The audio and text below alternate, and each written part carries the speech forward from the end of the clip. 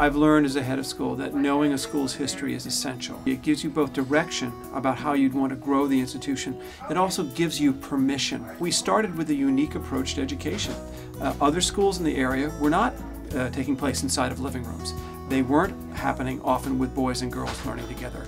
Uh, they certainly didn't have their windows open. Gordon School was founded in 1910 by Dr. Helen West Cooke, who was a female pediatrician at the time. Her older son Stuart had gone off to school, and she had decided that she wasn't satisfied with what he was receiving in education, and so she decided she was going to start a school for her second child, Gordon, and she decided to do that inside of her own home. She wanted to find a school for him that one was um, co-ed, and at the time all of the independent schools were single-sex. She also felt strongly that it should be a school that connected their academic program. In other words, you wouldn't learn math in isolation from science, that math, science, reading, writing would connect. And At one time we were called the open air school because she felt so strongly that kids needed fresh air and you would have your windows and your doors open as much as possible that would help with illness certainly, but also just helping with the kids staying focused in their work. And I read recently in the new material for parents that don't you know, don't be surprised. Your children will be going outside all winter long, so make sure you pack them warm clothes.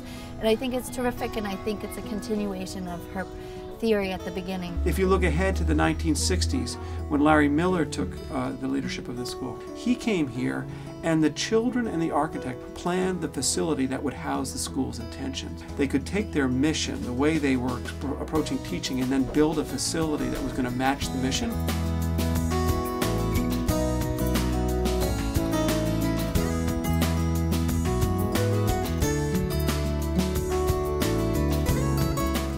Built three-quarter scale, not to be cute.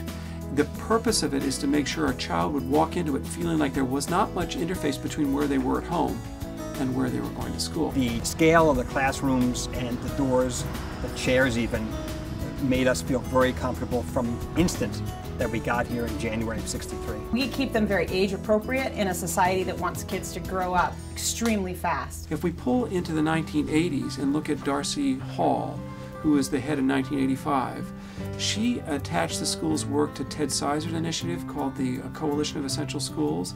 The notion in the center of the Coalition of Essential Schools work was that the teacher is a coach. Thanks. You have one, two, three, four. In other words, the teacher's not directing the learning but actually coaching these students and then putting them out onto the playing field of learning so they could actually practice and learn the skills, not because they're directed to it, but they actually own those skills. So what Gordon did in the mid-90s is go beyond the intention to be diverse and talk about it strategically and practically. I would say its single uh, most significant and critical change was that it has diversified itself racially and the faculty has developed a multicultural curriculum. I think it's too late to start talking about these issues in high school. We start from the moment they walk through this door until they leave, and they take that with them. And for an N through 8 school to do this, I think it's extremely innovative. I've been so impressed with what Ralph and the trustees have done in terms of adding in the multicultural component and really pushing to diversify the staff, to diversify the community, to make the curriculum really rich with multicultural experiences. We wanted our children not only to have children that look like them, but be able to relate to children that were not like them.